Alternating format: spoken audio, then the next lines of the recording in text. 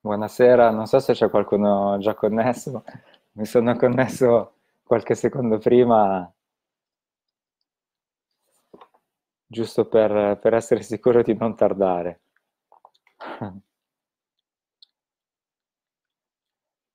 Ciao Elisabetta Caresana. Vediamo quante persone si connetteranno, siamo già a tre. Mi sentite tutti?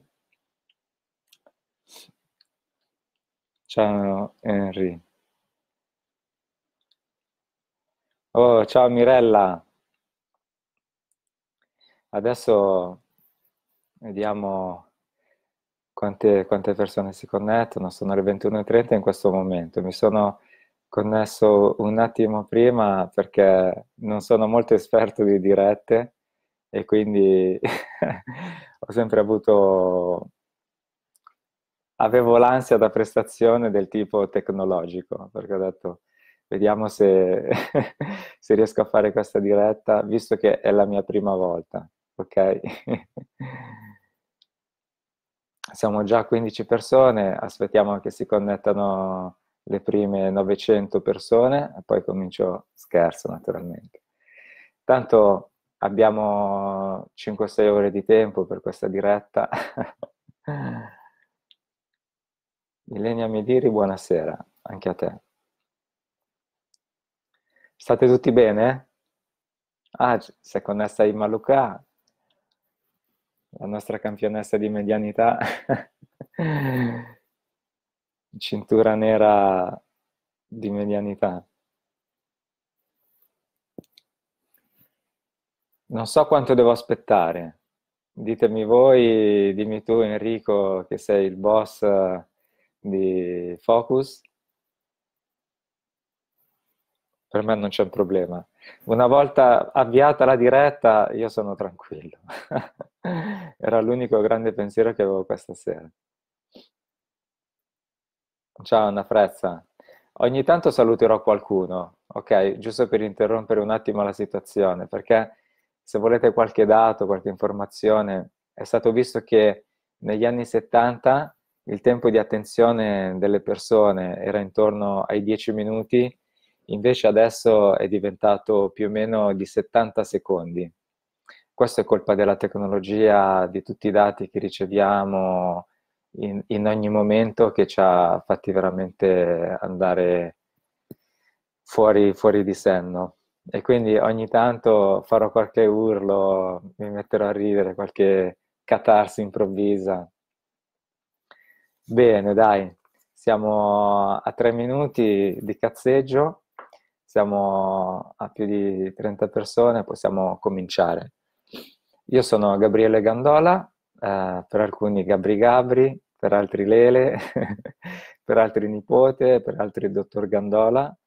Eh, dico questo non per prendervi in giro, ma perché più tardi parleremo anche della percezione dell'ambiente e, e di come vediamo anche il mondo in maniera diversa l'uno con l'altro. E, e, questo è molto importante perché io sono la stessa persona, ma per ognuno di voi posso veramente essere un personaggio completamente diverso, enigmatico o da conoscere. Ho lavorato, se devo presentarmi, eh, non so se interessa qualcuno, perché stasera l'argomento è epigenetica, però mi hanno detto di presentarmi tra, tra le prime cose. Quindi posso dirvi che per 15 anni ho lavorato nel campo aeronautico e dopo una mezza crisi esistenziale eh, ho deciso di cambiare vita, anche a seguito di un percorso spirituale che ho fatto, molto importante, che mi ha portato a fare tantissime scoperte, eh, tantissime ricerche personali che mi hanno proprio fatto vedere il mondo diverso da come lo vedevo prima.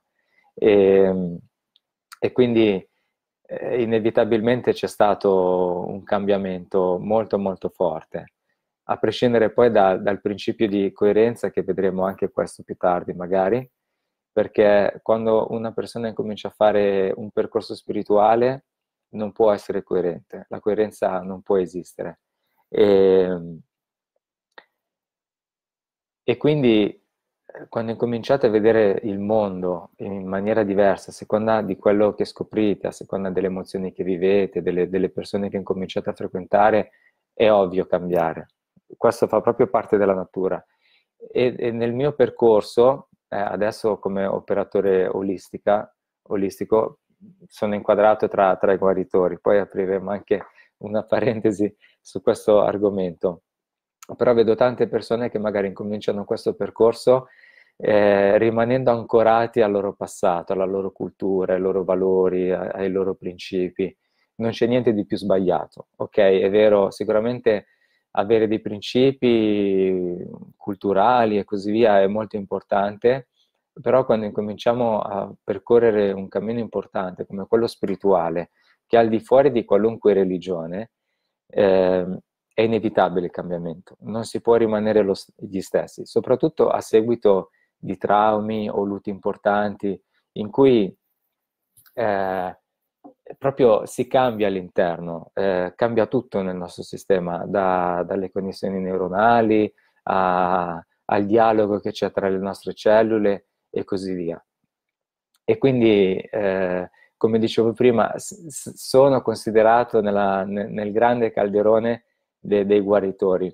E, però vorrei subito introdurre un concetto, che è quello eh, che non esistono realmente guaritori nel mondo. Voi potete andare in qualunque posto eh, della Terra, su, sull'Himalaya, in Sud America, in Amazzonia, in Africa, cercare i più grandi guaritori, sciamani, profeti, eh, santoni, tutto quello che volete, ma in realtà nessuno di loro eh, ha la capacità di guarirvi. Questo scordatevelo è, è una grande illusione, non, non, la voglio chiamare balla perché non è proprio così, però ehm, per chi studia eh, il corpo umano, eh, la fisica quantistica e quant'altro, sa benissimo che il nostro corpo è un corpo, è un organismo perfetto e nella sua perfezione ha una grandissima capacità di autoguarigione. Quindi di fatto la persona che voi vedete come guaritore come persona che, che vi fa dei trattamenti, qualunque essi siano, in realtà eh, sblocca dei nodi che sono legati a delle abitudini, ok? Che, che vi hanno portato verso la malattia inesorabilmente. E, e anche qui il concetto di tempo e spazio lo vedremo dopo eh, va rivisto un attimino, questo ce lo spiega la fisica quantistica, perché questa sera parleremo un po' di epigenetica, ma parlare di epigenetica vuol dire anche parlare di fisica quantistica. Io cercherò di usare parole molto semplici, eh, senza usare grandi termini tecnici che sono importanti, ma spesso sono anche molto limitanti e visto che sono le nove e mezza passate, non vorrei addormentarmi io per primo, ma piuttosto voglio cercare di mantenere la vostra attenzione. Quindi, ehm, che cos'è l'epigenetica? L'epigenetica di fatto è una materia scientifica composta da tante altre che si occupa di studiare eh, l'organismo umano e mh, i processi de- dell'organismo umano da un punto di vista biofisico, va bene? Eh, tendenzialmente noi dobbiamo capire che eh, siamo fatti di materia, oltre che da spirito.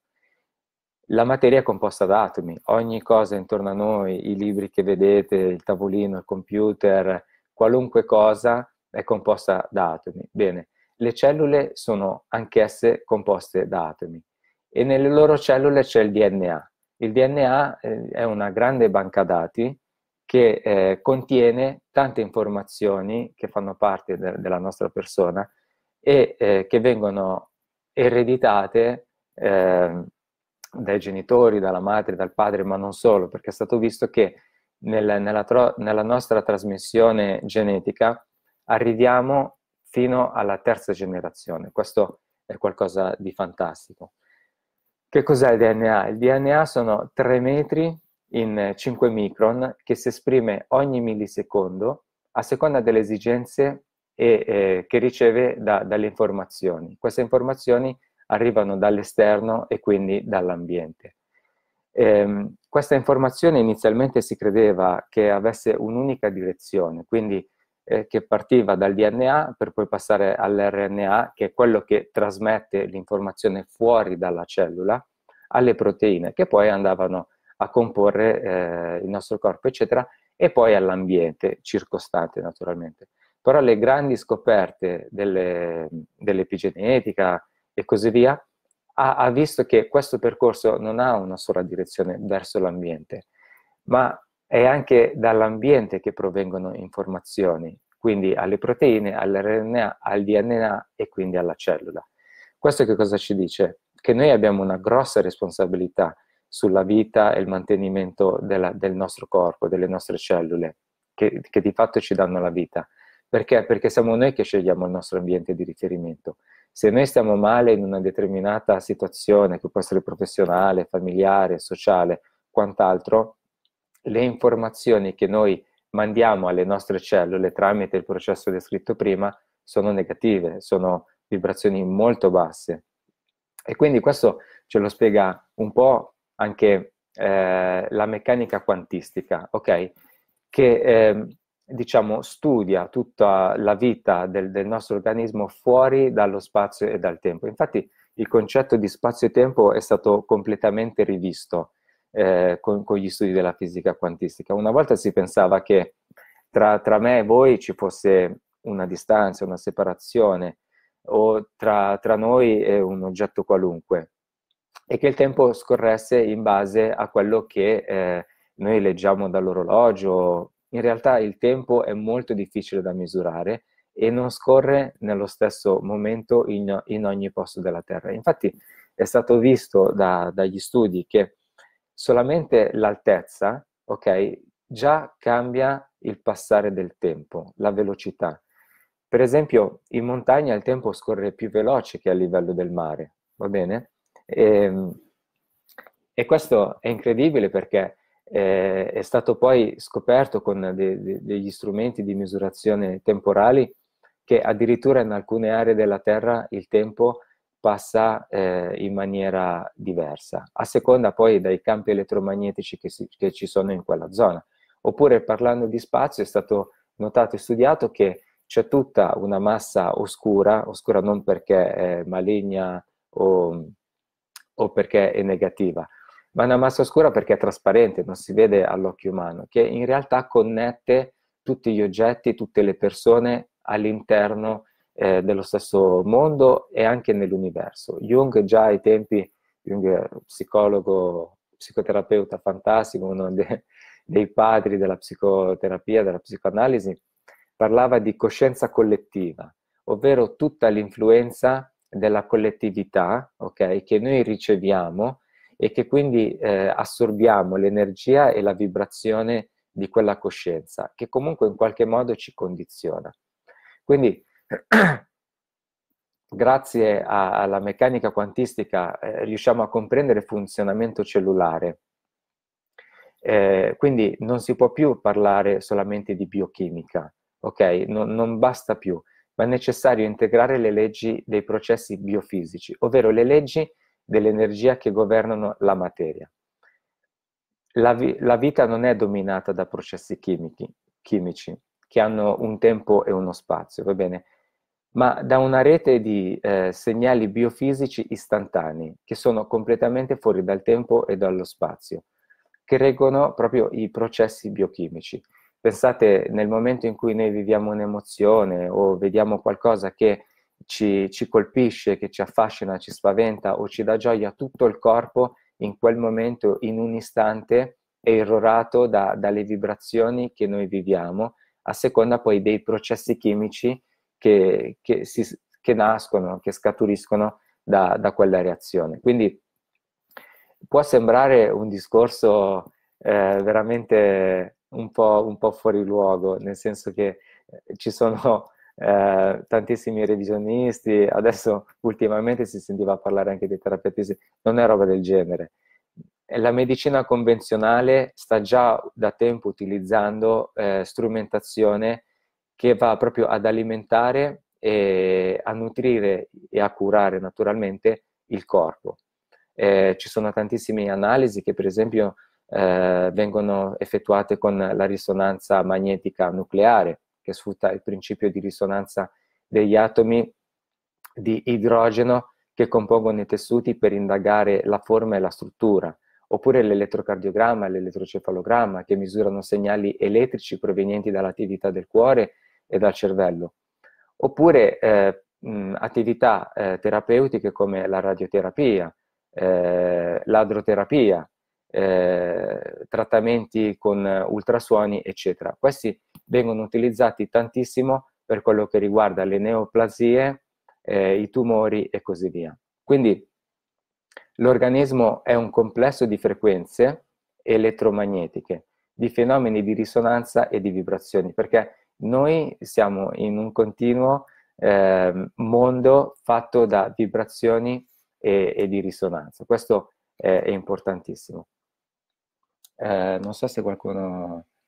Ciao Giorgio, eh, sto, sto, leggendo un attimo se ci sono eventuali commenti o domande, perché sono... Ok, buonasera, ciao, ciao a tutti, Caterina, eh, Romana, ciao. Certo, certo, eh, naturalmente dopo potrete fare assolutamente domande. Ciao Angela, ah, sto, sto leggendo un attimino perché eh, non sono molto tecnologico, c'è gente veramente eh, molto, eh, molto preparata e, dal, dal punto di vista tecnologico. e, ehm, e quindi parlavamo dell'ambiente. Che cos'è l'ambiente che ci circonda? Questo ambiente che condiziona tutto lo sviluppo e la vita de- delle nostre cellule e così via. Sono il cibo, l'acqua che beviamo, comunque eh, i liquidi che, che, noi introduciamo nel nostro corpo, ma sono anche la famiglia, la scuola, il posto di lavoro, eh, il gruppo dei pari, quindi ehm, se facciamo qualche attività sportiva, le persone che noi frequentiamo. E, ehm, e partendo un attimo dal cibo, ora non sono un dietologo e tantomeno uno specialista in questo campo. Io sono, diciamo, laureato in psicologia, ho dato alcuni esami su psicobiologia, fondamenti anatomofisiologici e così via, quindi eh, ho studiato tanto, ma in un determinato campo. Però ecco, eh, vorrei parlare un attimo del cibo, per esempio. Quando voi mangiate, mangiate solamente per introdurre qualcosa oppure mangiate per assumere quell'energia dall'alimento? E che tipo di alimentazione utilizzate? Una alimentazione carnivora o un'alimentazione vegetale? Già questo fa molta differenza. Non voglio fare moralismi inutili eh, tra vegani, eh, carnivori e così via, però eh, un punto eh, lo voglio, lo voglio affrontare, che è quello del, dell'energia, della vibrazione e dell'emozione che noi ingeriamo dagli alimenti. Per esempio, al di là eh, del, mm, della, della, crescita eh, de, degli animali che possono essere fatte in ambienti positivi o in allevamenti intensivi e che quindi fanno, fanno soffrire gli animali e così via. Ora, non, non, voglio entrare in argomenti che non mi competono, però noi dobbiamo eh, sapere che quando noi mangiamo della carne non ingeriamo solamente delle proteine, dei grassi e così via, ma ingeriamo delle vibrazioni, le emozioni degli animali. Ehm, eh, queste emozioni eh, si registrano nelle cellule, le cellule hanno una memoria e hanno una coscienza. E quindi naturalmente quando noi andiamo a mangiare della carne mangiamo anche delle emozioni eh, che hanno vissuto eh, questi animali che sono stati macellati, quindi il terrore, la paura, il disagio e così via. Anche la separazione dal, per quello che riguarda i cuccioli da, dalle madri e così via. E, ehm, e questo è molto importante. Poi ogni persona può mangiare giustamente quello che vuole, però una considerazione va fatta sulle emozioni eh, degli alimenti che noi mangiamo. Eh, è stato visto, per esempio, da, da alcuni studi e da alcune ricerche eh, quanto la memoria cellulare sia importante e, e, quanto poi vada a lavorare e influire sulle nostre cellule e anche sul nostro comportamento. C'era un medico chirurgo che è americano che a seguito di un, un intervento, lui aveva ehm, trapiantato uno stomaco da, da, un uomo, praticamente morente si sa, a, a, una, una, persona che stava aspettando di ricevere il suo stomaco e questa persona a seguito dell'operazione, qualche mese dopo, quando ha, ha recuperato le forze e ha potuto mangiare, si è accorto che aveva una grandissima voglia di hamburger. Lui nella sua vita non aveva mai amato gli hamburger, eppure dopo l'operazione era fortemente attratto dagli hamburger. E quando poi hanno fatto una ricerca sulla persona che aveva donato lo stomaco, si sono accorti, hanno scoperto che il donatore era un grande amante di hamburger. Sembra una barzelletta, però vi giuro che è proprio così. E, ehm, e di esempi ce ne sono tantissimi, soprattutto per quello che riguarda le emozioni, eh, che, riguarda, che riguardano i trapianti, eccetera, perché comunque l'informazione emotiva, l'informazione energetica rimane, rimane nell'organo. Tuttavia, nell'alimentazione eh, dobbiamo considerare l'energia e le vibrazioni che eh, sono assolutamente essenziali per la vitalità de- delle nostre cellule e del nostro sistema. E questo, per questo ci viene incontro Bobis, che ha fatto degli studi incredibili e ha anche creato una, una scala eh, che serviva per misurare mh, la, la, biometria de- degli alimenti. In particolare, mh, lui ha studiato un po' tutti gli alimenti, però si è soffermato sull'importanza degli alimenti che sono crudi.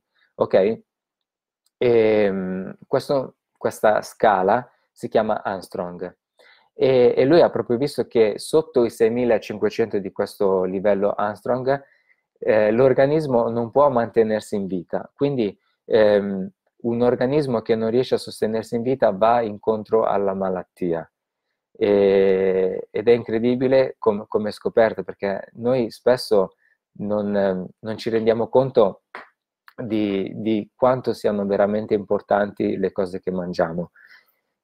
Quindi questo per dirvi che eh, per, un, per, una dieta molto importante, parlando proprio di cellule epigenetiche e così via, è indispensabile eh, anche tutta una parte eh, di, di, cibi crudi che eh, aiutano proprio il sostenimento cellulare e vibrazionale del nostro corpo. Vediamo se qualcuno ha scritto qualcosa.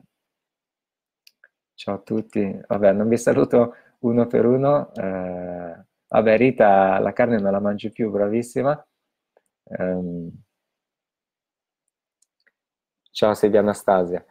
E, ehm, e quindi ehm, questo per farvi capire quanto il nostro organismo ha bisogno veramente di eh, un ambiente positivo e sano, partendo dal cibo, partendo poi dalla famiglia.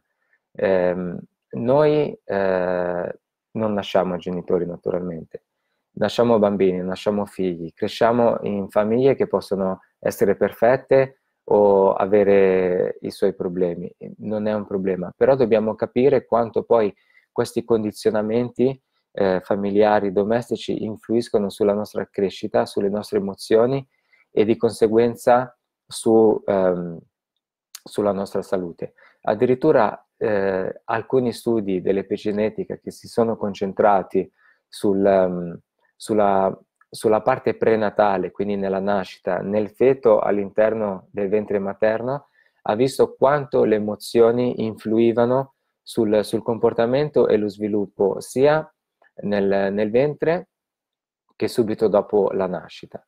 Eh, alcune emozioni di, di, angoscia, di paura, di rabbia venivano proprio registrate e queste emozioni trasmettevano delle vibrazioni ehm, chiamate RNA minore, che addirittura eh, avevano una frequenza molto bassa, ma arrivava addirittura in alcuni casi a bruciare delle terminazioni nervose. Quindi pensate voi quanto una madre che aspetta un bambino sia responsabile nel, nella, nel periodo prenatale dello sviluppo del, del feto, del bambino. Sia da un punto di vista di alimentazione, perché sempre l'epigenetica ha dimostrato quanto una madre che ehm, si alimenta di cibi grassi vada a mandare dei segnali, delle registrazioni al feto che in automatico quando nascerà, eh, diventerà bambino e comincerà a crescere avrà bisogno di queste sostanze. E, ehm, mh, era stato fatto un esperimento addirittura in Inghilterra in cui a delle pecore eh, che aspettavano de- de- degli agnelli eh, veniva fatto mangiare del limone, ok? Eh, è stato visto che gli agnelli che sono nati tendevano a mangiare i limoni, quindi gradivano il sapore aspro dei limoni, mentre gli agnelli che nascevano da pecore che non avevano mangiato i limoni non mangiavano limoni. Questo, anche questa sembra quasi una barzelletta, però è così, perché eh, noi trasmettiamo le nostre informazioni a livello genetico e anche da questo punto di vista però bisogna fare abbastanza chiarezza. Io ho sentito parlare molto spesso eh, persone che dicevano eh, mio padre ha avuto tumore alla prostata o tumore allo stomaco, oppure mia madre ha avuto un tumore al seno, quindi geneticamente mi ha trasmesso questa informazione e quindi ehm, faccio un sacco di analisi per, per capire, per prevenire eventuali malattie. Bene, in parte è vero. Allora, prima di tutto fare ehm, controlli preventivi è assolutamente ottimo, assolutamente essenziale, però dovete capire una cosa, quello che attiva l'informazione che viene trasmessa da madre a figlia o figlio, da padre eh, o dal padre, è un'informazione che diciamo è latente, dormiente. Si attiva solamente nel caso in cui eh, ci sia un, un, determinato fenomeno, un determinato trauma o uno stress prolungato nel tempo che porta allo sviluppo della malattia. Eh, vi faccio un esempio.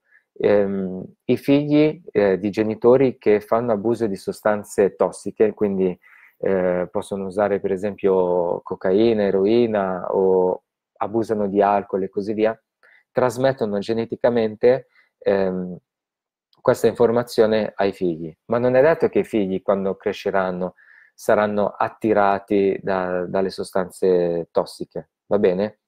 Se vivranno in un ambiente sociale ottimale eh, che gli permette una crescita sana e, e quindi li tengono lontani eh, da, da, un contesto mh, amicale eh, o gruppale che eh, per esempio discrimina eh, le sostanze tossiche, loro non saranno attratti naturalmente.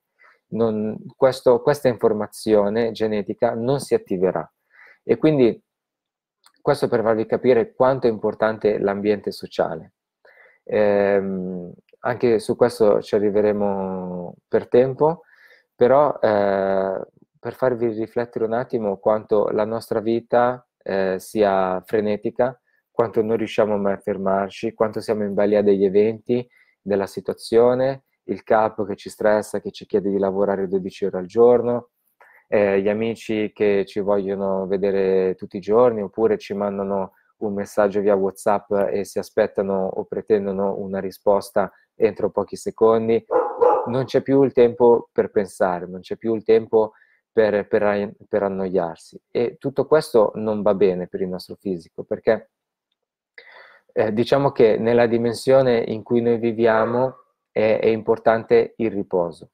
Nel riposo eh, le nostre cellule si rigenerano, è stato studiato sempre dalle neuroscienze, anche dall'epigenetica naturalmente, quanto ehm, per il bambino eh, appena nato il riposo serva per ricostruire eh, le, non solo le informazioni della memoria, che questo poi rimane costante nella, nella vita quotidiana. Eh, se noi non dormiamo a sufficienza, le cose che noi abbiamo imparato non riusciamo a memorizzarle. Però nel bambino è fondamentale il sonno perché il sonno facilita lo sviluppo cerebrale.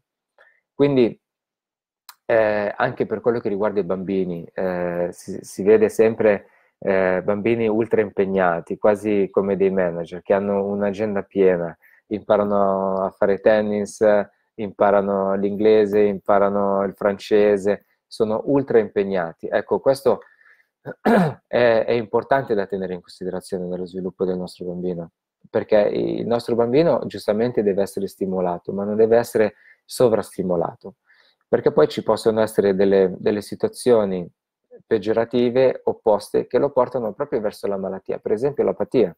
L'apatia è qualcosa che nasce a seguito di una ehm, attività troppo stressante, troppo eh, frenetica, che, che, non gli permette di, di, esprimere, di trovare se stesso. Fin da bambini noi cresciamo per processi imitativi, eh, incominciamo eh, a guardare il mondo e le prime persone che ci stanno intorno sono i nostri genitori, quindi noi cominciamo a imparare dai nostri genitori. E man mano che cresciamo e ci affacciamo sul mondo, incominciamo magari la scuola, eh, quindi incominciamo a, a imparare da, dai nostri insegnanti, dai nostri compagni di scuola, fino a un certo punto, quando entriamo nella fase adolescenziale in cui c'è un processo di, di ricostruzione cerebrale che è stata definita ehm, una potatura neuronale, in cui tutti i legami neuronali, questi percorsi, queste, queste strade che connettono le, no, le nostre cellule in, un po' in tutto il corpo cadono e vengono potate. Tutto quello che noi non abbiamo utilizzato fino alla nostra adolescenza viene sostituito con nuove reti neuronali ed è un processo fantastico, automatico, che, che fanno in automatico le nostre cellule. E, ehm, e però che cosa succede? Che noi dobbiamo distaccarci da questi processi imitativi e, e incominciare a fare il nostro eh, percorso in cui eh, incomin- incominciamo proprio a guardarci dentro, a creare la nostra vera identità. Purtroppo però nella nostra società eh, siamo veramente bombardati da stimoli, da modelli, si apre Facebook, eh, si apre Instagram, ci sono sempre nuove proposte, pubblicità, prodotti. Eh, se non hai questo non sei bello, se non hai quest'altro non sei forte. E tutto questo crea una serie di complessi che cominciano veramente a creare degli schemi emotivi che eh, ci portano poi problemi nel nostro sviluppo. Eh, vediamo se c'è qualche, qualche, cosa, perché vedo 14 commenti. Eh, eh, ho letto e visto i video del dottor Lipton. Oh, ok. Esatto, siamo solo dei canali con origine luce, sì, esatto, Anni, lei. Esattamente così. Eh, non siamo proprio dei, dei, Poi vedo tanti che stanno preparandosi a scrivere.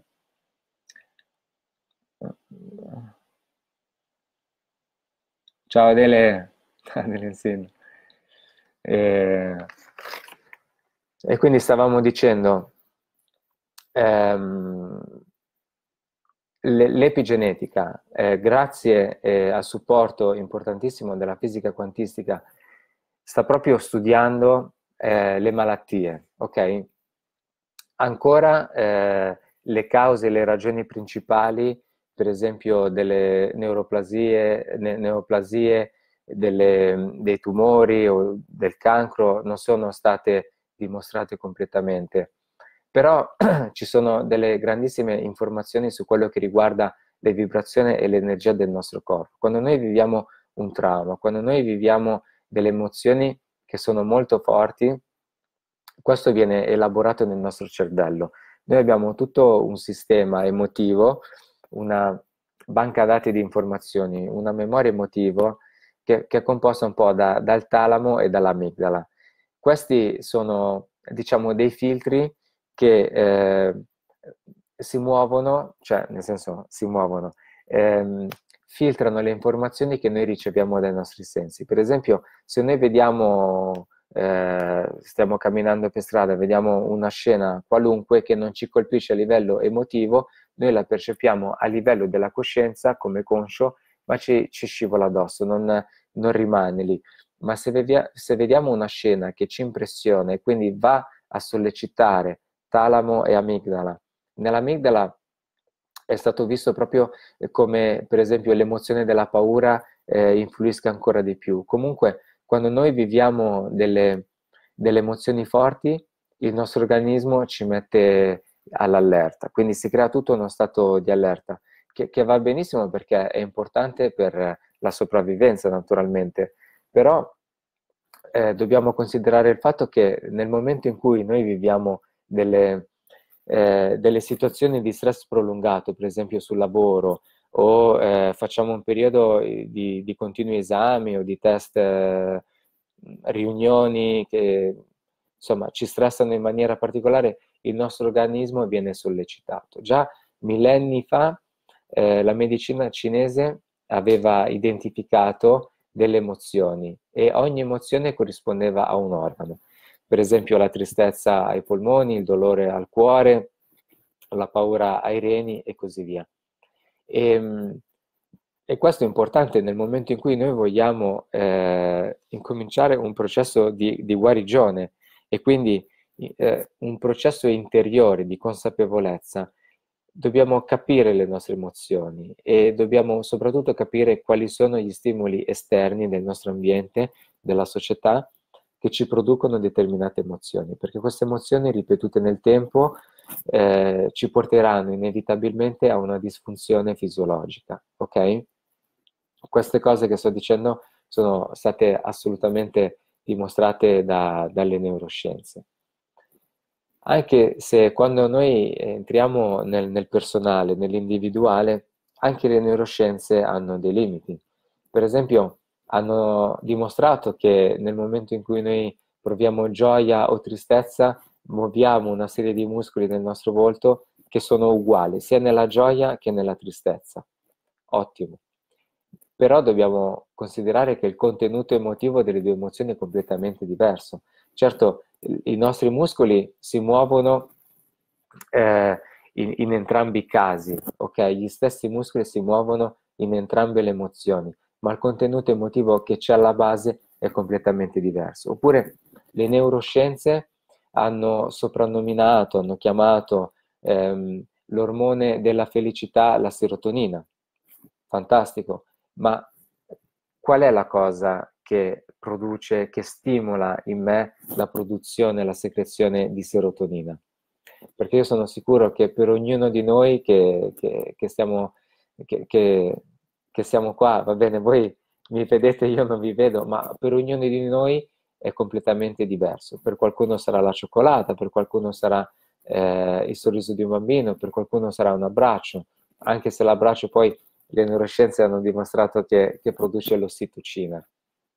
Comunque è molto importante eh, in questo percorso, eh, sulla base di tutto quello che è stato scoperto e che sta venendo fuori da, dall'unione del, dell'epigenetica con la fisica quantistica, l'ambiente che ci circonda, ma prima di tutto capire che cosa, che cosa abbiamo dentro, chi siamo. Eh, scopo della psicanalisi è capire veramente chi siamo. Già lo dicevano gli antichi greci, lo diceva Nietzsche, e, ehm, e, e più passa il tempo e più filosofi, sociologi eh, ci, ci, ricordano quanto sia importante identificarci. Questo eh, sta alla base di, di, un fattore molto molto eh, determinante. Il fatto è che l'identità non, non, ce la creiamo da soli, l'identità ci viene data dall'esterno. Um, io posso essere un pranoterapeuta se qualcuno ha bisogno di me, posso essere un meccanico se qualcuno ha un'auto da riparare e io ho delle conoscenze tecniche, ma mettiamo caso che eh, mi trovo su un'isola deserta dove non c'è nessuno, eh, dove ci sono solamente alberi, sabbia, mare e non ho nessuna forma di vita con cui dialogare. È ovvio che la mia identità perde l'importanza, nel senso che non, non mi riconosco più, non riesco più a trovare un senso alla mia vita. E quindi eh, è determinante anche in questo caso l'ambiente in cui noi decidiamo di crescere. Per esempio, eh, io posso frequentare un gruppo di amici che mi considera il migliore di tutti, ok? E quindi questo mi darà forza, mi darà stimoli, mi darà motivazione a frequentarlo, eccetera. ma se vivessi in una situazione in cui l'ambiente con cui sto interagendo mi considera, dico una parola così, uno sfigato, oppure una persona che è ignorante, oppure che non è all'altezza di, di, di quell'amicizia o di, di, quella compagnia. Naturalmente tutta eh, la considerazione che ne esce eh, su di me è, negativa. Quindi questo per portare un altro esempio di quanto poi eh, l'ambiente esterno, la società sia importante.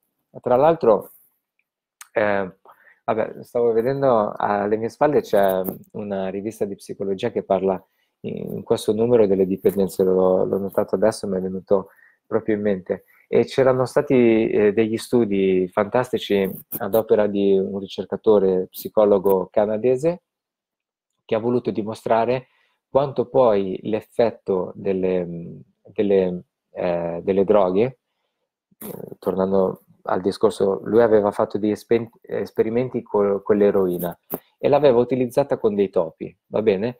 E si era accorto che eh, mettendo un topo da solo in, in, una gabbia in cui c'era un distributore di acqua e un distributore di acqua con dentro dell'eroina, quando il topo eh, assaggiava l'acqua e poi assaggiava l'eroina, tornava a bere l'acqua con l'eroina. Eh, col passare del tempo lui ha, ha, tenuto in questa gabbia questo topino da solo, con poco mangiare, con eh, forti eh, fattori stressanti, eh, per esempio delle scosse improvvise eh, che lo spaventavano o dell'acqua che, che, lo bagnava in momenti in cui non se la spostava. Insomma, aveva creato proprio un ambiente stressante.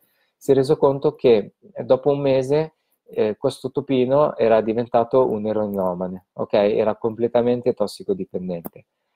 Quando lui lo ha tolto, eh, per provare poi il suo esperimento, eh, per poter dimostrare la sua teoria, e lo ha messo in un vero e proprio parco giochi per topi, in cui c'erano tantissimi topi, topi maschi, topi femmine, c'era tanto da mangiare, c'era tranquillità, c'erano eh, veramente tante distrazioni ehm, e c'era proprio una comunità attiva, si è visto che eh, questo topo, ha, quando ha, ha, dovuto bere, aveva provato sia l'acqua normale che l'acqua con l'eroina.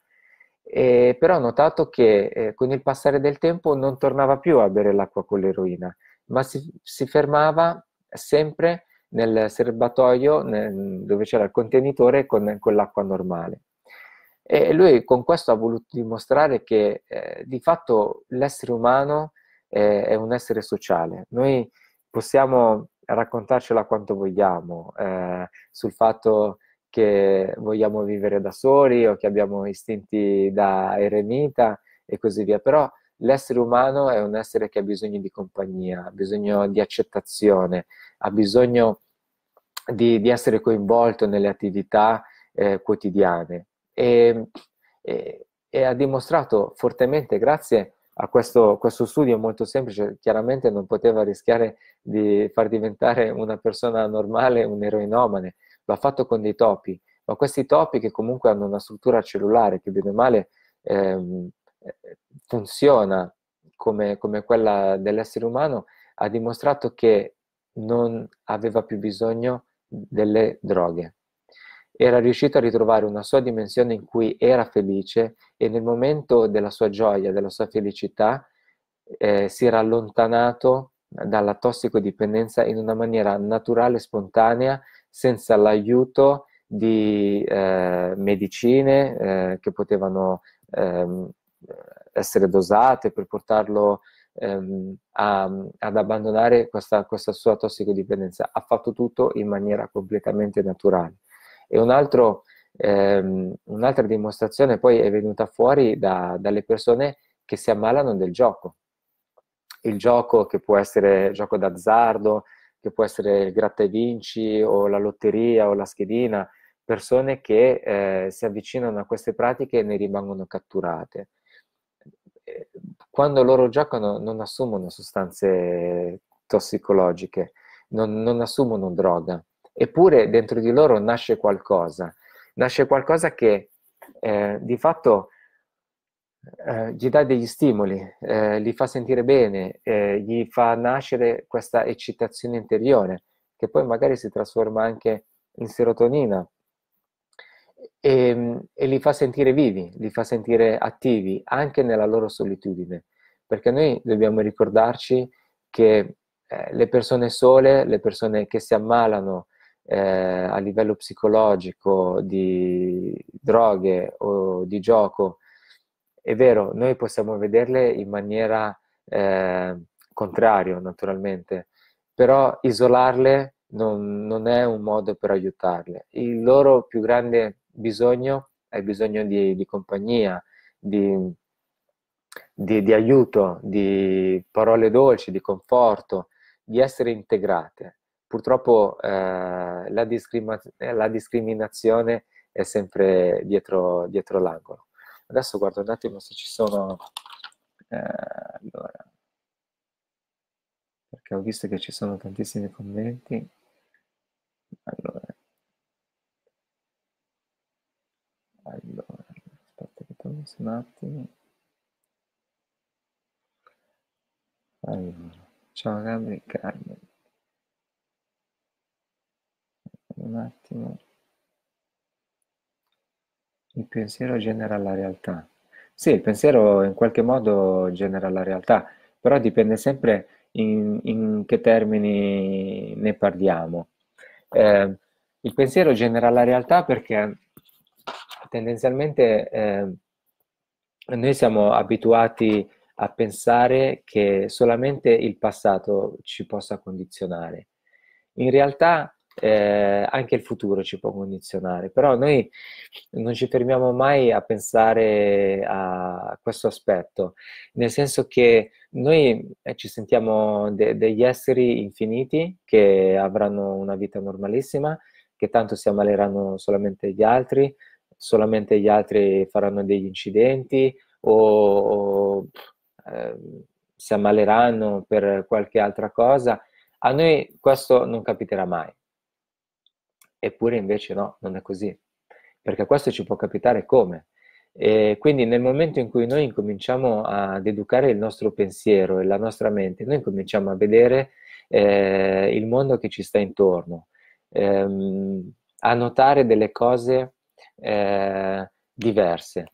Faccio un esempio velocissimo, eh, che poi è stato anche l'argomento de- della tesi quando eh, mi sono laureato. C'era uno psicologo russo, Alfred Yarbus, che ha studiato per oltre 30 anni il movimento dell'occhio e nei suoi esperimenti ha, ha fatto vedere un quadro eh, normalissimo in cui c'era una scena di un uomo che entrava in una stanza con delle altre persone e mh, aveva preso un campione di, di persone, una popolazione e a ogni persona chiedeva, in un momento comunque separato, di guardare un dettaglio diverso. E si era accorto che il movimento dell'occhio partiva prima con una sequenza macro, quindi andava ad esplorare il quadro a livello generico e quando trovava quel dettaglio, quell'informazione fissa che gli serviva mh, mm, per poi descriverla al, al ricercatore, eh, l'occhio incominciava a muoversi molto più rapidamente con delle distanze molto più corte. Ecco, eh, al termine dell'esperimento, quando lui chiedeva di descrivere questo quadro, aveva notato che ogni persona in qualche modo lo, lo descriveva diverso e sembravano quasi dei, dei quadri diversi. Dunque lui eh, eh, ha raggiunto eh, la conclusione che a seconda di come noi pensiamo, in una certa misura vediamo in maniera diversa. Dunque, in un pensiero eh, positivo e in un pensiero negativo, mettiamo caso che mm, eh, due persone diverse, uno si chiama eh, Bingo e l'altro Bongo, stanno facendo una strada in macchina, entrambi hanno un incidente stradale, escono fuori strada, la macchina si distrugge, rotola e così via, eh, tutti e due si salvano, ok? Eh, bingo, eh, mente negativa, pensa, porca miseria, ho distrutto la macchina, eh, mi serviva per andare al lavoro, adesso devo, devo ripagare eh, tutte le spese di manutenzione per ripararla, eccetera, torna a casa dalla moglie, si arrabbia, tutto nervoso, guarda oggi non, non mi parlare, eh, rimani per conto tuo, non, non mi infastidire. Eh, e quindi già si crea una certa situazione familiare negativa. Magari eh, Bongo, eh, mente positiva, esce fuori dalla macchina e dice mamma mia avrei potuto morire, eh, sono stato proprio fortunato, ehm, adesso torno a casa, voglio festeggiare, rientra a casa, prende la moglie, dice amore dobbiamo festeggiare perché oggi ho rischiato di morire, quindi ti porto fuori a cena, ti porto eh, a mangiare qualcosa di buono, dobbiamo insomma ehm, ricordare questo momento che eh, sarebbe potuto essere drammatico. Bene, il pensiero in questo caso ha cambiato completamente la situazione, una situazione eh, che ho descritto familiare, però di fatto sono due persone che hanno avuto lo stesso incidente con una mente diversa che è andata a notare particolari dell'incidente e quindi degli aspetti completamente opposti. E nel primo caso uno è tornato a casa completamente arrabbiato e ha alterato tutta eh, la situazione coniugale. Nell'altro è tornato a casa con, una, eh, con, un pensiero positivo e ha migliorato ancora di più la sua vita, gli ha dato valore. Ok? Questo è un esempio. Spero di averti eh, risposto in maniera eh, Letizia Cirinna. allora, eh, vediamo. Allora, io i messaggi Anilei troppo lunghi non li leggo perché sennò sto qua tutta sera a leggere. Eh, allora, andiamo, ciao.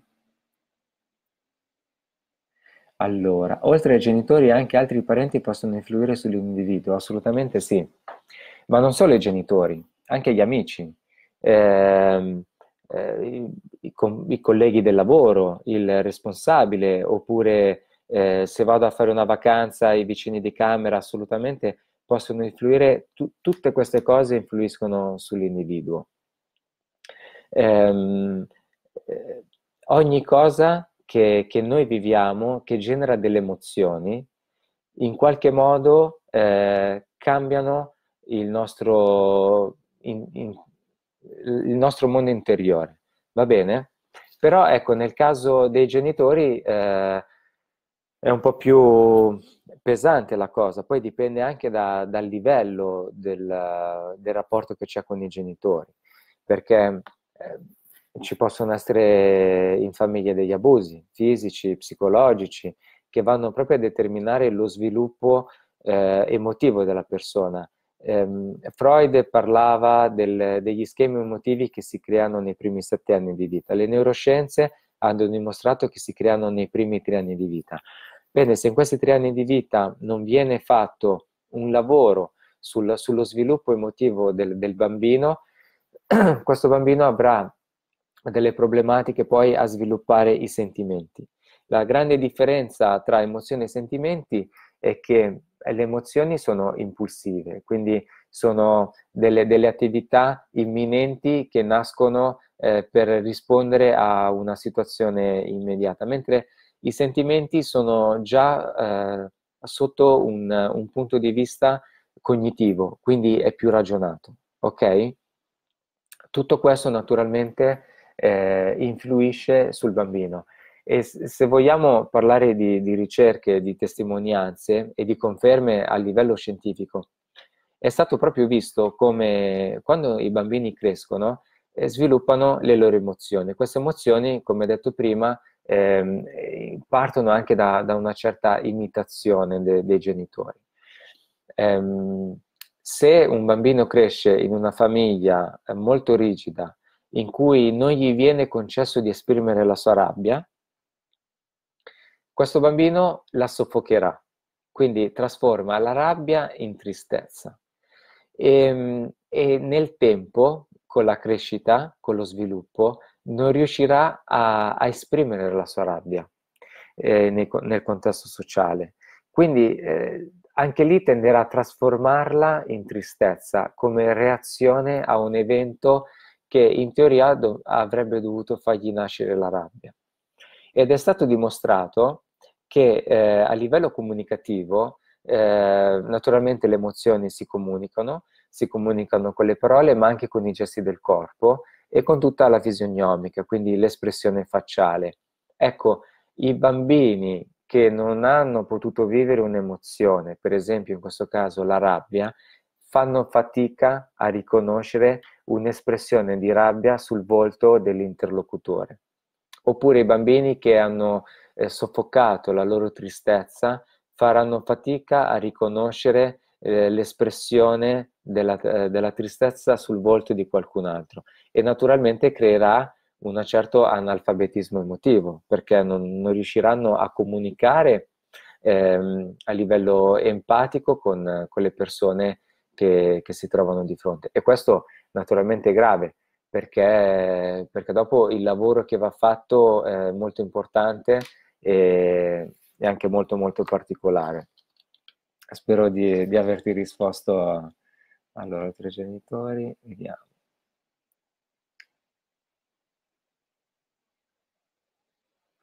Allora, andiamo.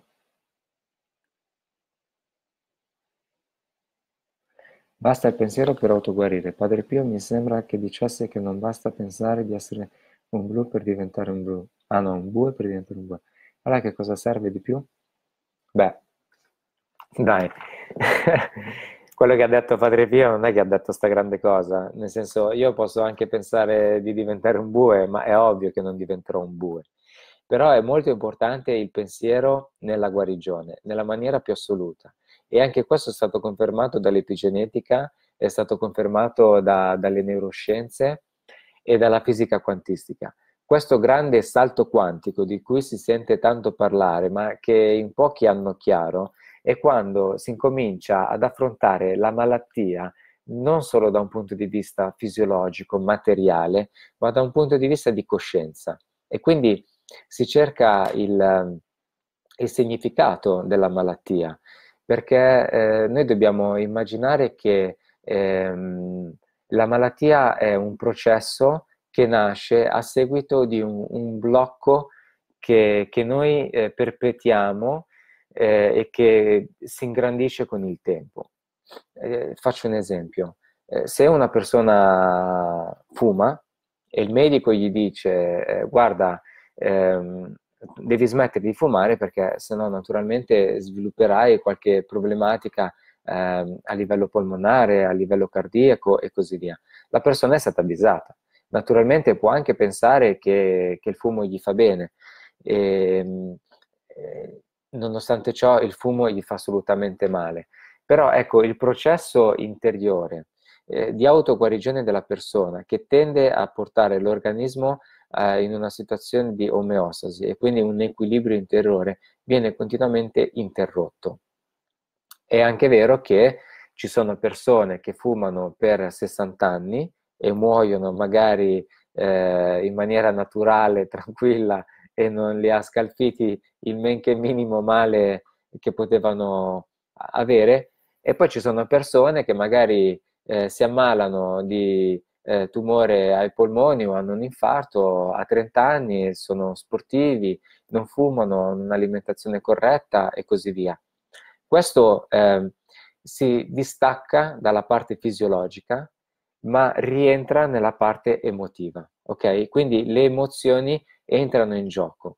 Eh, quando noi viviamo un'emozione, come dicevo prima, c'è tutto un processo all'interno del nostro cervello che è un ribollitore di, di ormoni, di vibrazioni, di elettricità che eh, se eh, dentro di sé incominciano a muoversi delle emozioni, per esempio di tristezza, incomincia a mandare degli impulsi elettrici, delle vibrazioni che sono molto alte al cuore, al, um, all'organo di riferimento, che nel caso della tristezza è per esempio il polmone.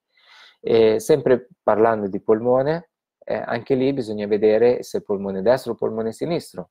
E quindi se per esempio è eh, colpito il polmone sinistro, è una tristezza legata al passato, che continua a, a inseguire eh, senza tregua ehm, il nostro amico.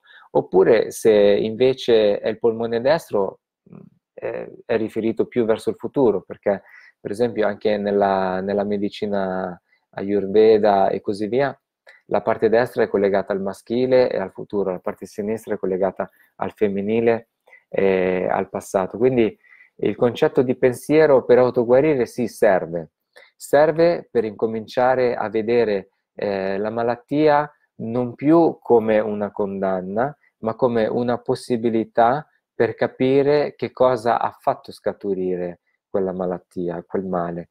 Di conseguenza incominceremo a fare un'analisi molto molto profonda dentro di noi, sulla nostra vita, eh, su quello che, che sta succedendo nel, nel, nostro contesto familiare, sociale, quali sono le cose che ci stanno determinando determinate emozioni.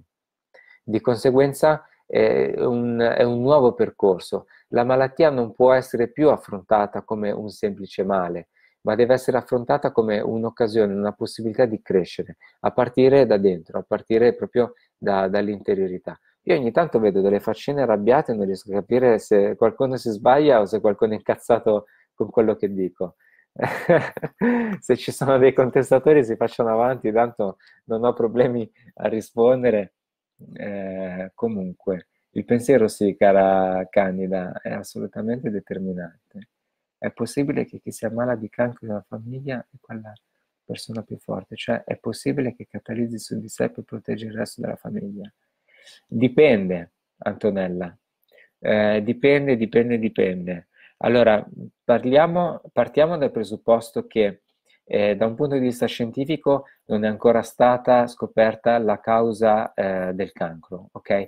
Si sa che sono delle cellule che si ribellano e invece di morire eh, continuano a crescere e, e, quindi vanno contro il, il processo e le leggi eh, biofisiche e biochimiche. Però poi dipende qual è la parte del cancro che viene colpita, perché se il fegato ha un, un significato, eh, se il rene o i reni ha un altro significato ancora. Eh, bisogna, è una domanda troppo generica, Antonella. Però ecco, sicuramente eh, se qualcuno catalizza ehm, su di sé ehm,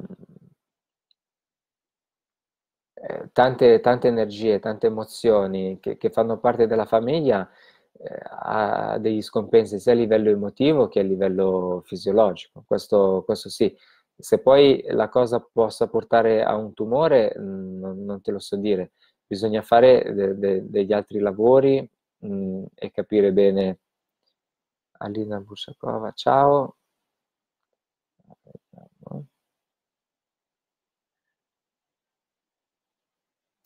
Povero topo. Secondo me quel topo è quello che stava meglio di tutti. Allora, uh, sto guardando un po' di commenti.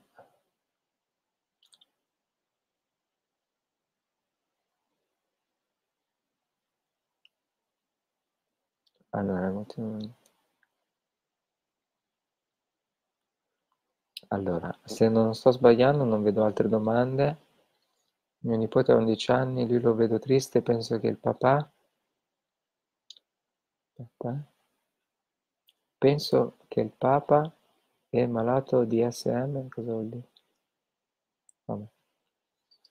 Ehm... Non so se, se avete altre domande, se volete... Ah, qua vedo due commenti. Andiamo. Grazie, argomento interessante. La tua risposta, ma... Grazie Candida. Prego, Antonella. Quindi, ehm, Vediamo, perché avevo, avevo, preparato un gobbo che non è uno Juventino di una scaletta per, um, per parlare. È passata un'ora, non so se, se, la diretta deve finire, se c'è qualcun altro dopo. Questo me lo devi dire tu, Enrico, innanzitutto.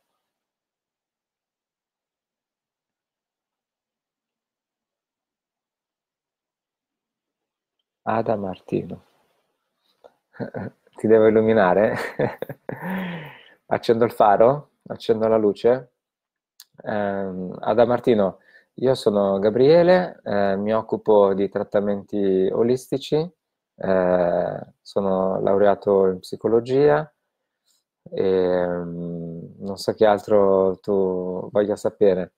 Comunque, parlando ancora velocemente del nostro organismo, noi sappiamo benissimo che siamo fatti per l'80% da acqua e ci sono stati degli studi di un ricercatore, un fisico eh, giapponese, Masaru Emoto, non so se l'avete mai sentito, che, che ha parlato proprio, eh, lui ha scritto un libro, la sua ricerca poi l'ha chiamata Il miracolo dell'acqua, ehm, in cui eh, è andato proprio a studiare eh, gli elementi delle, della vibrazione e quindi la risonanza eh, che trasmette energia. Lui aveva fatto tutta una serie di prove in cui ehm, inviava dei suoni, che potevano essere delle parole o della musica, all'acqua e andava poi a registrare come queste molecole di acqua si muovevano eh, nello spazio.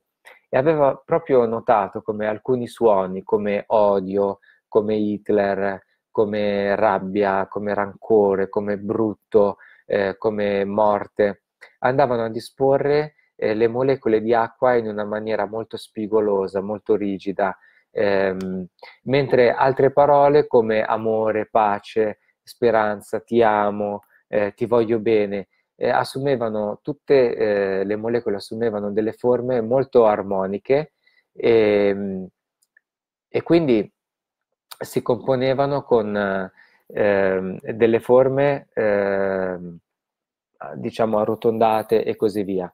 E poi aveva fatto de- degli esperimenti anche con uh, degli elementi della natura, per esempio ehm, la frutta, in cui aveva passato del tempo a, a, offendere una mela e a dire delle belle parole a un'altra mela e dopo qualche giorno era andato a vedere che la mela, eh, che aveva ricevuto delle offese, ehm, era marcita, mentre eh, quella eh, che aveva ricevuto parole positive eh, di amore e così via, aveva un, avuto un processo di eh, invecchiamento molto molto più lento rispetto a quell'altra. E questo era stato fatto notare anche con i suoni della musica. Alcuni suoni di, della musica classica, per esempio, o musica eh, melodica, disponevano le molecole dell'acqua in una forma molto morbida, molto amorevole, mentre suoni di musica techno, metal, eh, rock molto aggressivo disponevano le cellule in una maniera molto ehm, spigolosa. Ecco, eh, tornando a quello che ho detto prima sul fatto che noi siamo fatti per l'80% di acqua, è molto importante anche eh, considerare i suoni della natura eh, che ci circonda. Sicuramente i suoni di città eh, per il nostro organismo, per le nostre cellule, eh, corrispondono a dei suoni molto duri, eh, come se fossimo esposti, diciamo, a, a, una musica metal o come se eh, ascoltassimo parole molto negative. Mentre il suono della natura, del vento, dell'acqua che scorre, del mare, eh, ci, ci, danno tutte delle altre sensazioni, perché? perché hanno delle vibrazioni molto più morbide, molto più dolci, molto più delicate, che dispongono anche le nostre cellule in una maniera molto più armonica. Infatti, quando voi tornate da una vacanza, per esempio, eh, al mare, montagna, vi sentite rigenerati, e questo non è avvenuto solamente grazie al fatto che avete staccato la spina, che vi siete riposati, ma è perché siete stati esposti a dei suoni molto più dolci, molto più armonici rispetto a quelli dove eh, vivete normalmente. Uno di questi, per esempio, è il Cammino di Santiago che ho fatto, 960 km completamente nella natura, tra gli alberi, eh, canto degli uccelli, ehm, ehm, suono del vento, della pioggia, dei ruscelli. Il cammino di Santiago è, è, lo stanno studiando adesso, ci sono de, de, dei ricercatori che stanno intervistando eh, molte persone che hanno fatto il cammino, tra cui anche il sottoscritto, appunto per eh, arrivare a una teoria, perché eh, sono stati proprio notati i risultati positivi che il, il cammino di Santiago porta al corpo, ma anche alla mente del, dei pellegrini che lo percorrono. Addirittura una volta stavo parlando con un amico psicoterapeuta, quando gli ho detto che avevo fatto il cammino di Santiago, è rimasto un attimo così, mi ha detto, ma dai, veramente, eh, pensa che molti dei miei pazienti in terapia da me, dopo che hanno fatto il cammino di Santiago, mi hanno chiamato e mi hanno detto che non avevano più bisogno della, di continuare il percorso con me. E lui era rimasto stupito naturalmente, però queste persone stavano veramente bene, erano veramente guarite, perché eh, l'unico che può guarire, tornando al discorso dei guaritori, è Dio, il figlio di Dio. Dio si manifesta nella natura. Eh, Dio è nel filo d'erba, è nell'albero, è, è nel vento, è in qualunque elemento della natura. Vediamo, ci sono altre domande.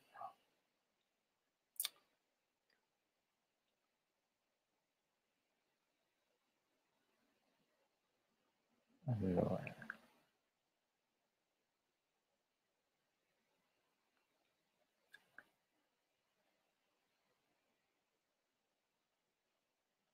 Vediamo un attimo. L'ho visto anche su YouTube. Che cosa? Ciao Gabriele, si può vedere veramente? No, vabbè, adesso vedere integralmente il tatuaggio. Non posso denudarmi in diretta su Focus, magari ti manderò la foto. Ah, davvero molto esaustivo, fa capire davvero i tanti misteri della vita, sì. Alcuni ancora sono da, da capire, io sono tutta, tutta in liquido. Posso dire che sono potrice, sì.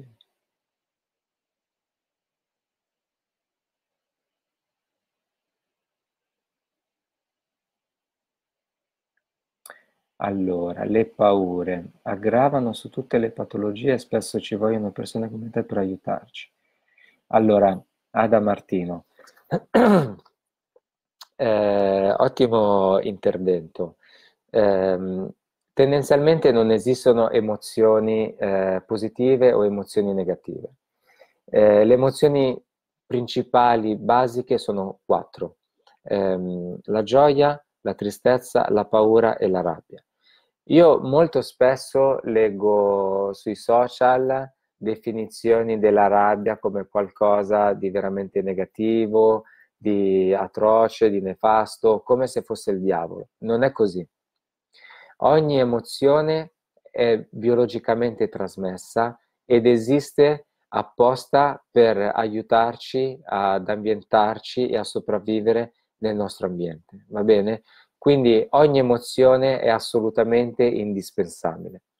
Il problema qual è? Il problema non è arrabbiarsi una volta ogni tanto, è giusto arrabbiarsi, è giusto aprire questa valvola di sfogo e tirare fuori quello che noi abbiamo dentro. Il problema si cronicizza quando noi viviamo nella rabbia. Quindi vivendo nella rabbia noi manteniamo il nostro organismo in allerta, perché normalmente noi sviluppiamo eh, questa emozione, la rabbia, entra in gioco nei momenti di criticità, in cui magari eh, veniamo sopraffatti, in cui magari dobbiamo rispondere a, a, una situazione o a un pericolo imminente e quindi lo, lo possiamo fare con la rabbia, con, la, con l'aggressività. Quindi il nostro organismo si mette in allerta, partono tutti dei sistemi assolutamente automatici e, e parte questa impulsività. Un altro discorso è vivere nella rabbia, quindi mantenere costantemente il nostro sistema in allerta. Lo stesso vale per la paura.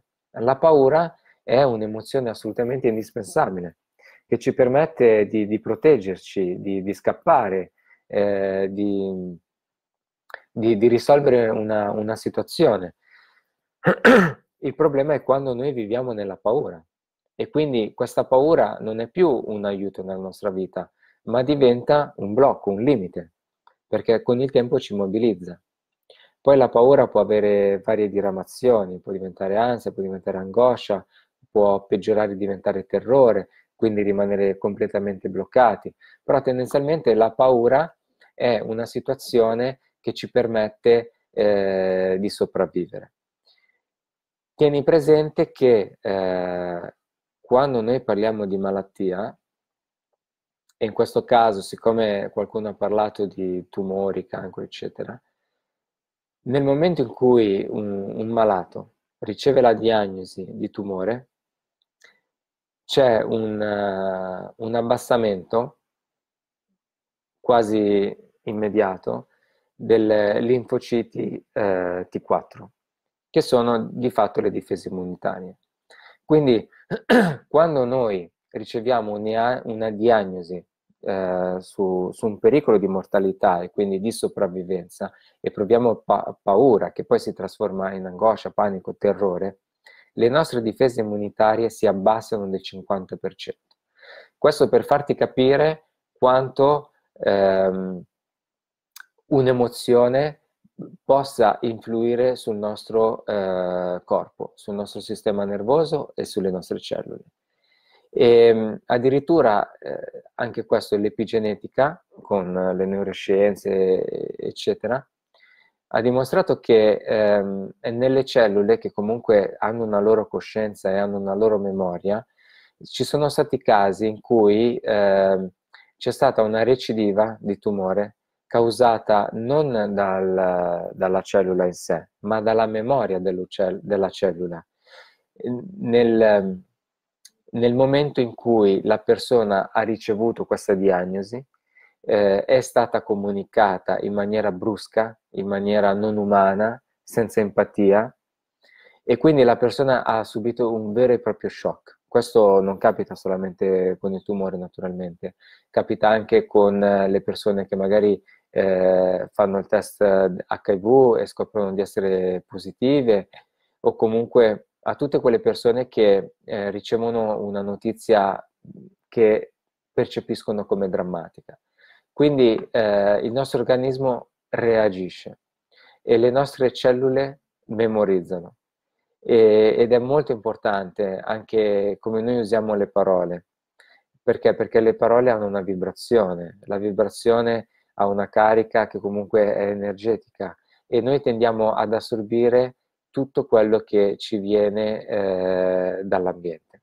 E anche le parole sono l'ambiente. Se noi siamo in un, in un bar dove ci sono persone che urlano, litigano, eh, c'è tensione, eccetera, noi torniamo a casa veramente molto, molto stressati. Se noi invece passiamo una serata in riva al mare, sotto le stelle, ascoltando ehm, le onde, e il vento sulla pelle, eccetera, torneremo a casa veramente rilassati. Ma non solamente a livello di testa, non solamente a livello mentale, ma tutto il corpo sarà rigenerato dai suoni che lo hanno pervaso. Vediamo altre cose.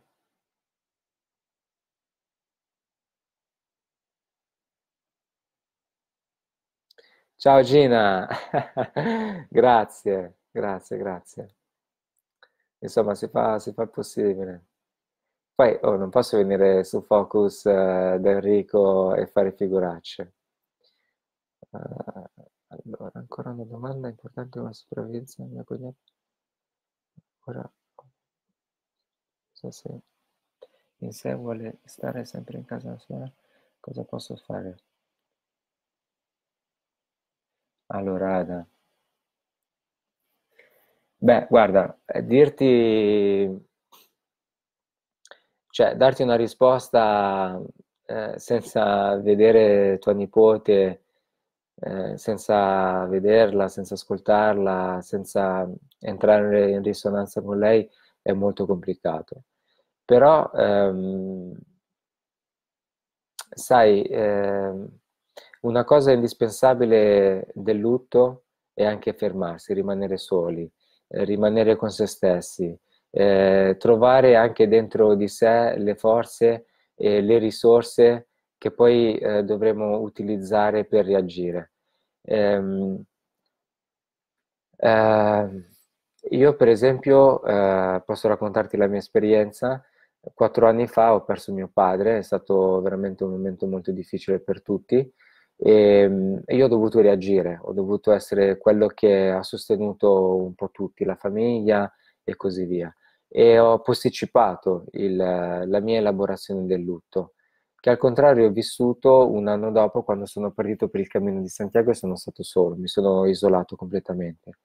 Eh, durante il cammino ho conosciuto delle persone, le ho incontrate, ma eh, rimanevo comunque in disparte, rimanevo per conto mio, avevo proprio bisogno di guardarmi dentro, di sentirmi, di ascoltarmi e questo mi ha aiutato tantissimo. Ora non so eh, tua nipote eh, che cosa stia facendo in questo momento. Eh, ti posso dire che ehm, un mese per elaborare un lutto è veramente poco. Eh, però ecco, io non, non la forcerei più di tanto, nel senso cercherei di starle vicino, di far sentire la mia presenza, più che altro per capire i suoi sviluppi psicologici e capire verso che direzione sta andando. Però forzarla nella, a vivere un, una vita sociale, un, riprendere alcuni impegni familiari che non si sente di vivere, potrebbe essere peggio che magari lasciarla riposare, lasciarla eh, meditare lasciarla in ascolto di se stessa, delle sue emozioni, anche perché io veramente una domanda molto molto aperta. Eh, bisogna considerare il carattere di tua nipote, in che famiglia è cresciuta, uh, in che modo ha sviluppato le sue emozioni, che consapevolezza ha sue, dei suoi sentimenti e così via. È una domanda veramente molto molto complicata. Io ti posso consigliare al limite di monitorarla a distanza, starle vicino, farle capire che ci sei, che sei presente, che qualunque cosa lei abbia bisogno ti può contattare, ma ehm, non la forzerei, eh, perché ogni persona veramente ha un, dei tempi diversi che sono veramente soggettivi, assolutamente, nella maniera più assoluta. Poi io non so di dove sei, al limite eh, mi puoi contattare per, eh, per, dei, per dei trattamenti o delle cose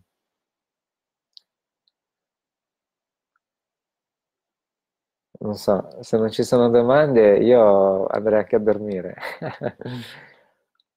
Ciao Rosalba Bianco, dalla Sicilia. Grande, sei un tesoro Rosalba.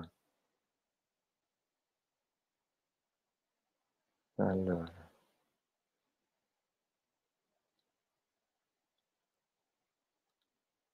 Vediamo se c'è qualche domanda che mi sono perso. C'è un nuovo commento.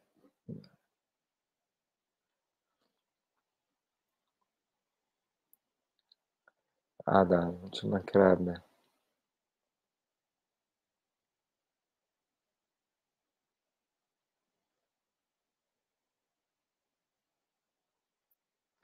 Vediamo se mi ero segnato qualche appunto. Eh, comunque ehm, è veramente importante eh, e poi magari chiudo la diretta capire la propria natura. Eh, la natura è molto semplice. Noi siamo molto complicati. Abbiamo un sistema cerebrale che è veramente complesso. Ancora tantissime cose non, non sono state scoperte e non sono ancora state ehm, registrate o comunque ehm, è, è, ancora tutto in fase di studio. Però eh, vi faccio un esempio semplicissimo, visto che vi ho fatto vari esempi che alcuni potevano sembrare delle barzellette, però vorrei farvi vedere eh, per capire un'immagine, un, un simbolo che, che, possa arrivare un po' a tutti. La natura nella sua semplicità è veramente eh, fantastica. Prendiamo per esempio un, un arancio. Un, prendiamo un arancio. Se noi spremiamo l'arancio, questo arancio sa nella sua natura, nella sua semplicità, che eh, la spremuta che lui ci darà sarà di arancio. Noi possiamo insistere, possiamo stressarlo, possiamo incolparlo, possiamo offenderlo fino a, alla morte, chiedendogli di darci della spremuta di limone, ma lui ci darà sempre una spremuta di arancio. Ecco, eh, noi siamo tanti frutti diversi in questo mondo, eh, su questa terra, ognuno che ha eh, la capacità di dare un tipo, un tipo di spremuta. Però viviamo in contesti ambientali dove ci viene chiesto altro, dove noi ehm, eh, non possiamo esprimere chi siamo veramente, dove la nostra creatività eh, viene soffocata, dove la nostra fantasia viene ridicolizzata, dove noi cerchiamo di tirare fuori la nostra essenza e questa essenza non viene capita.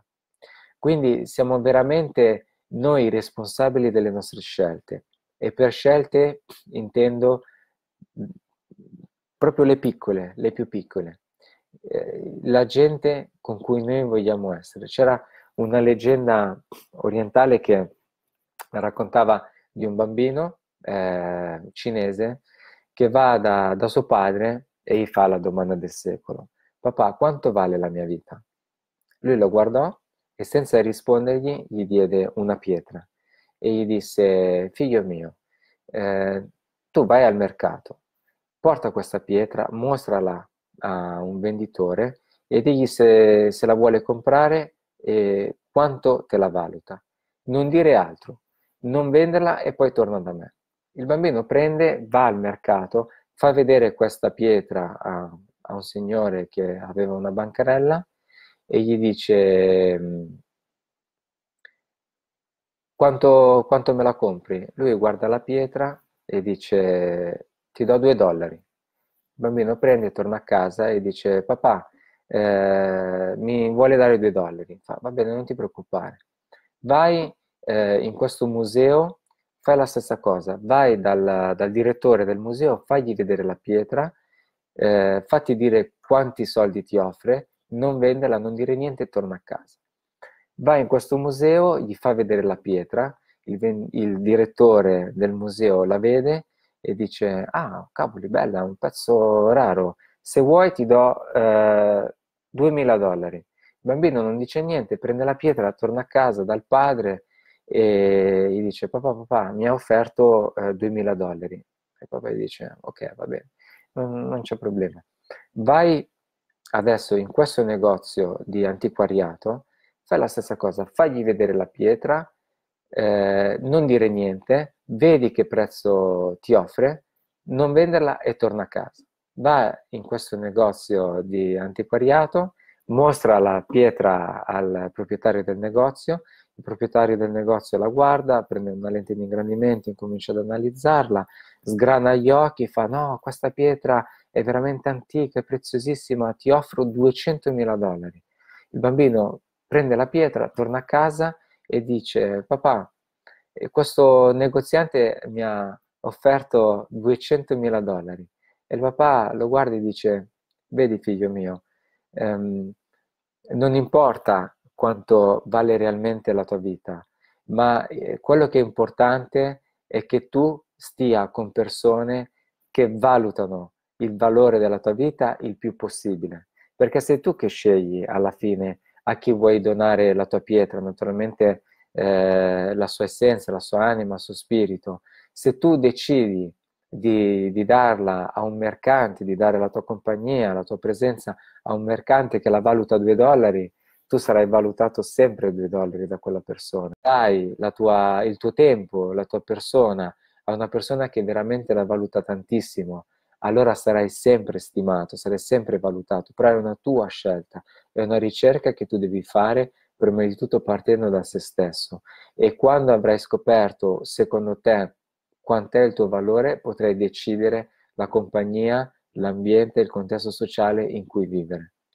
se tutti voi, cari amici di Focus, vi sentite sottovalutati da, da qualcuno, in realtà la colpa non è solamente dell'altra persona che vi accusa o vi critica o vi dà de- delle bastonate, delle batoste o, o, vi fa sentire frustrati, ma in parte, la grossa parte della colpa è vostra perché glielo permettete, perché non decidete di riprendere in mano la vostra vita, la vostra anima, eh, la vostra evoluzione, eh, di, di, non guardare oltre, di dire ok, io eh, preferisco rimanere da solo piuttosto che essere valutato due dollari e girare, e provare, sperimentare fino a quando non troverò qualcuno che mi valuterà 200.000 dollari. Quindi dopo questo vi do la mia benedizione e se non ci sono domande o altri interventi io vi, vi saluto, grazie per avermi seguito e se volete chiedermi l'amicizia su Facebook mi trovate come Gabri Gabri. Sono, mi nascondo dietro un nick e, e magari alla prossima eh, più avanti. Enrico, tu ci sei? Dimmi tu che cosa devo fare.